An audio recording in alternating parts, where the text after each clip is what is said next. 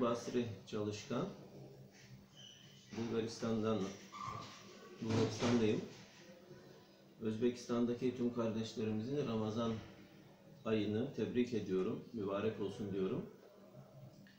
Bizler Bulgaristan'da Müslümanlar olarak Türkler, Pomaklar ve Çingeneler olmak üzere üç topluluk halinde yaşıyoruz.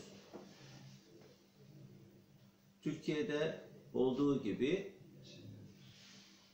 ve diğer İslam ülkelerinde olduğu gibi e, bazılarında tabii ki e, imsak başlangıcı bazı yerlerde geleneksel olarak davulla e, davul çalmak suretiyle ilan ediliyor. İnsanlar kalkıyorlar, sahurlarını yapıyorlar.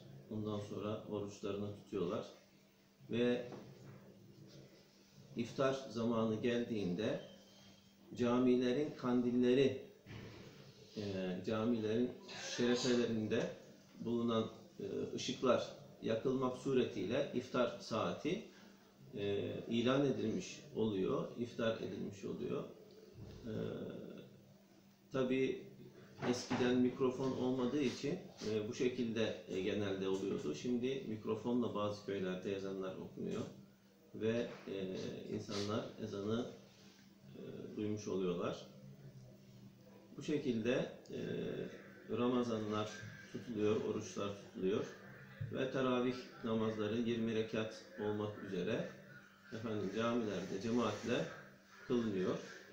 Tabii ki komünizmin vermiş olduğu e, birçok zararlar sebebiyle e, bazı yani oruç tutmada ve dini ibadetleri yerine getirmede e,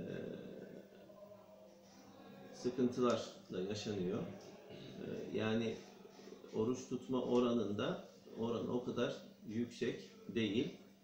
E, dolayısıyla bu konuda e, bizler çalışıyoruz. İmam kardeşlerimiz, hocalar bu konuda gayret ediyorlar.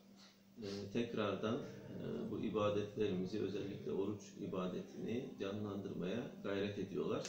Hepinize sevgi ve selamlar sunuyoruz. Allah'a emanet olun.